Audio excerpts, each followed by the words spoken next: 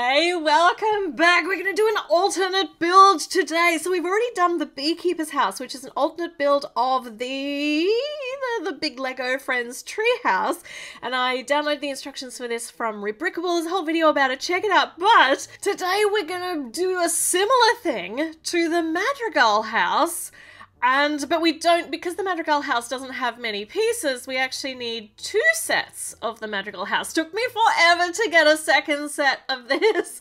my gosh, you just can't get it anywhere. And you need uh base plates. Like you're supposed to have a really long one, but I'm gonna see whether these two work. Anyway, so to do this, I have downloaded the instructions from Rebrickable. So this is called Enchanted House. It is by the this whole design is made up by Lego Artisan, who also did the Beekeeper's House, and the instructions cost me five dollars to purchase them. Oh, look at what they look like side by side. They're just this Lego Artisan makes amazing designs. I couldn't even imagine how to take the pieces from one set, or two sets in this case, and turn it into an entirely different, but really, really cohesive and beautiful looking end product.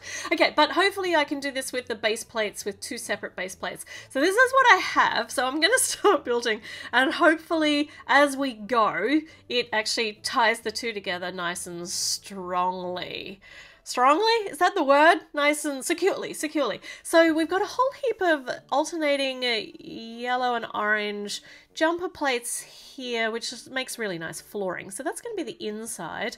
So these designs are really they're made to turn turn your existing models into modular modular buildings so they look like fantastic apartment buildings. So not really easy to access what's inside but uh, you know, it's the outside that's important for these, but the inside's still filled with lots of details. So we've got a little corner kitchen over here, and then this is the front, I think. I think this is the front. I'll, uh, we'll find out as we go along anyway. On the inside, this box would normally have a sticker on it, but I haven't put the stickers on my second set. The couch is exactly as it was in the actual Madrigal house. Got a really nice little table with the flowers in the middle. So it's super cozy. There's a couple of chairs. There's room for just enough of everything you need just inside in this little teeny tiny living space. Gramophone's exactly as it was in the original Madrigal house too. Got a got the umbrella sitting there right in the doorway. And now this is amazing. I would never have thought to do this, but you know, I'm not much of a custom builder. I, this is why I love doing custom builds to see different ways to make different things. So these hinged pieces have been put in backwards, so they actually make a right angle and the top is secure. Like it's going to make we're making another level basically with all of these hinge pieces which were utilized to put the roofing on in the original design so we have lots and lots of them and now they're being used for something else entirely different that I would never have thought of so this is just amazing so we got the front here uh, got some nice yeah, it's really interesting things going on on the front. I don't know where this is all going to go. It's all going to come together in the end. So all of these hinge pieces have created a split level which we're tiling with the alternating orange and yellow tiles. So and we've got stairs going up to, that's really, really so clever. Oh my gosh! All right, and on the split level, so we got a kitchen and a little living area down below, and a pile of what could be books or it could be anything really. Oh, I mean, the sewing machines up here as it was in the Madrigal house, so I reckon it's going to be material. I want to turn this door around so that we can see the all that beautiful artwork on the outside. These door pieces are now like open shuttery pieces that you can actually open up and then access like you can pass through from the kitchen out to the living area the dining area outside for your alfresco dining. It's so pretty. Okay more hinge pieces now going on so that they make those nice secure right angles to make stairs this is just so, this is mind blowing for me. I am looking at hinge pieces in a whole new light now. And this, uh, this is going to be up here at the top of the stairs. Got that nice sticker on it, just a bit of decoration. and so we've got a landing and then some more stairs to curve, no, not to curve, to keep going further up. So this is going to be a very, very tall tall bottom level, which makes sense because the beekeeper's house was as well. And the modulars look they look good like that. Gives really, really tall bottom bottom story. This is so smart. This is, and also really pretty. So gold pieces to make a floral arrangement out the front of what is going to be, I assume, the windows, but I can't figure out from the instructions whether these are supposed to be the darker, the orangey brown tiles or the, I think it's these, not tiles, the brickwork. I think it's these. I think I had it right initially. I'll find it when I get to the end and if I have the wrong coloured bricks left over. So a big orange. What? How does my brain translate green into orange? Honestly, I don't know what's going on inside my head sometimes. So a big green wall. The shutter pieces are just breaking that up a bit and can also be utilised as windows. Got some inward facing studs here to put some of those really nice big tapestry works now on the wall. Look how tall that wall is. It looks amazing. And the front door is built up. These got the stickers on them. I don't know whether, maybe I could face them outwards. Would that look good? Uh, I don't know. We'll put some windows in. No, I don't think so. We, you're going to barely see them on the inside, but that's fine. All right, so on the outside, on the front here, fantastically tall window. Got some flowers on either side. It's looking so it it still keeps the character of the color scheme and the style of the Madrigal house with these big tall arches, the orange arches over the door and the window. But it doesn't look like the Madrigal house anymore, but yeah, it still keeps the style and the theme. Okay, uh, tiles over the top so we can put the next layer on and it'll be detachable. Some more of these hinges to make some more stairs. I really like this sticker use as the front door. The front door mat, that's really, really nice. Oh my gosh, the hinges! Just blown away. Another umbrella at the front door, and all of these little Technic pieces are going to end up with plants in them, I think. So we've got these plants on either side of the door. I'm just going to angle them out a bit.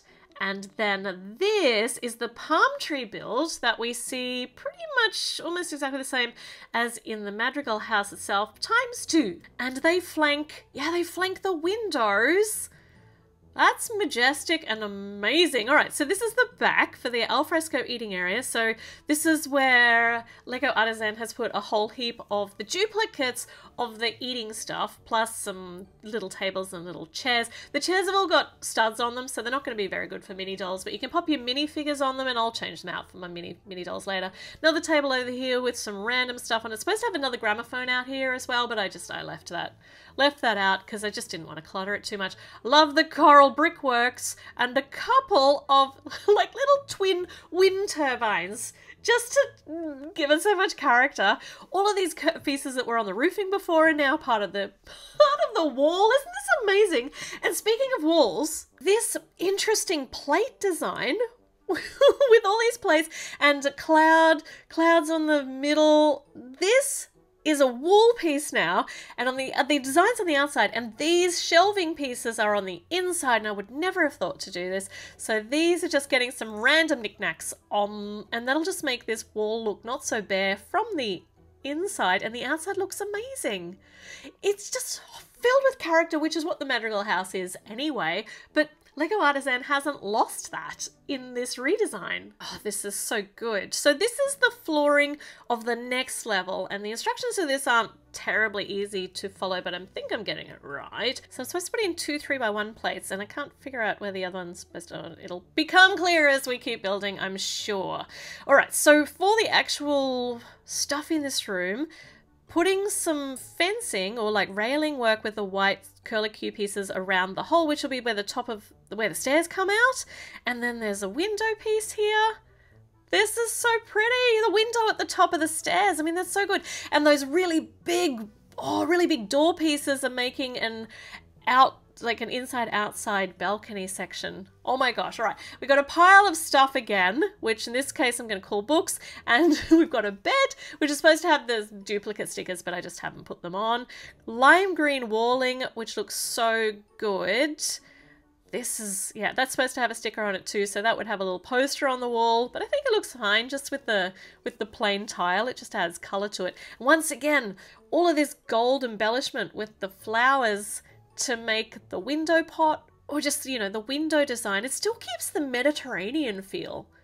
This this redesign still keeps the Mediterranean feel to the actual original build, which just blows my mind. So a smaller, yeah, smaller size window because this level is a bit shorter. That's supposed to go facing inwards this looks great. So heading out onto the balcony area, there's another little eating section. There's a spot with some boxes that you can just put random things in. I don't know where this table's supposed to go. Let me put in, let me move that over. That's supposed to go over one. Put these in here. And then, yeah, that should fit there. That's nice. Then alternating that with the purple bricks. This is this is so good. This is really, really so good.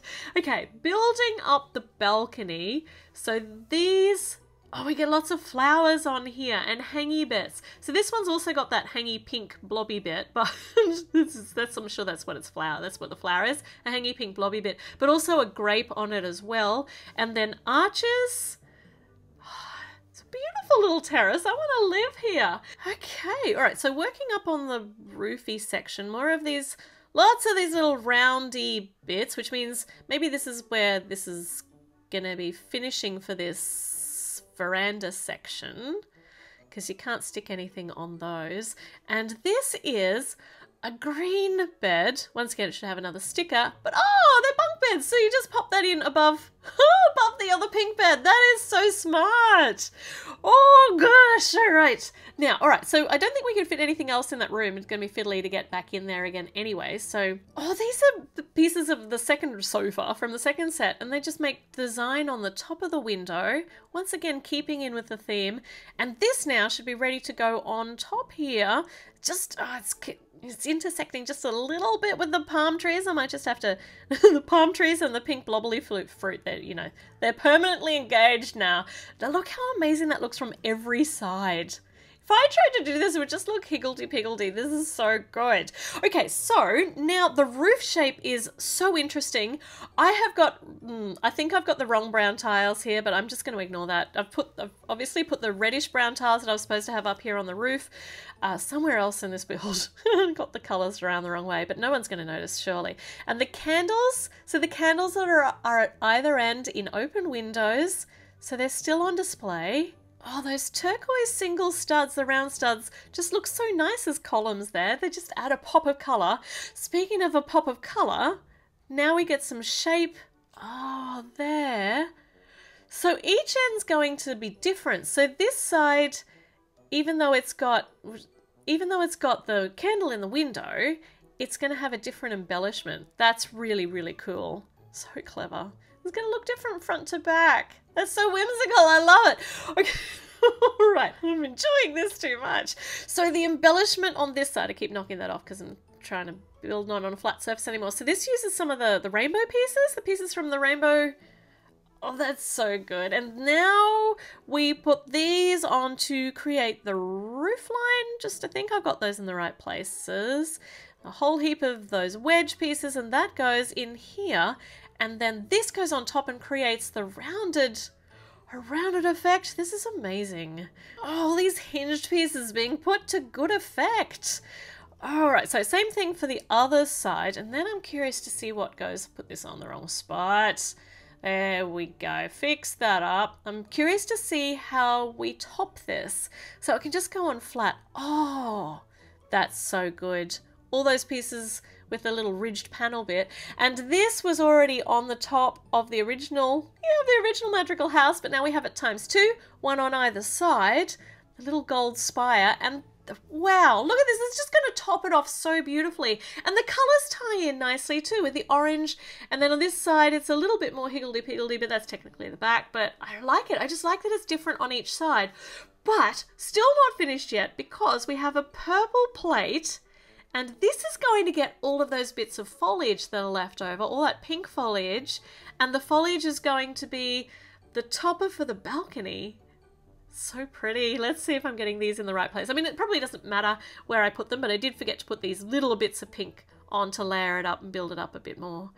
Look at that. That's why you've got all of those rounded bits. It just sits, it nestles in beside them. Oh, so smart. I'm just blown away. Let's put some of the some of the family members in here. I mean, if I put them inside the house, we're not going to be able to see them. But this is really, I mean, it's for display for the outside. And the outside looks incredible. Oh my gosh. All right. Wow. Wow. Wow. Wow. Okay. And putting it together with the beekeeper's house. Look at them. They just has so happy side by side. There's such different styles different themes, like completely different themes, and yet they go so nicely together. And we can nestle this in amongst the other modular buildings, and even though they're vibrant colors, the actual designs look they look cohesive with the rest because the roof lines and yeah just because lego artisan is so so very clever Oh, with his designs, I'm so blown away. Look at this crazy little pop of colour. But it doesn't look too crazy. It certainly looks as though someone's magicked them into this boring suburbia. A little bit of magical sunshine. I love this so much. All right, let me know in the comments if this is something you'd like to do. If you could, if you, well, you know, trying to get two Madrigal houses is a bit hard, but hopefully in the future they'll become more common and easy to get. Yeah, let me know what you think, and yeah, check back in because there'll be more videos coming up really soon. So I'll see you then. Bye.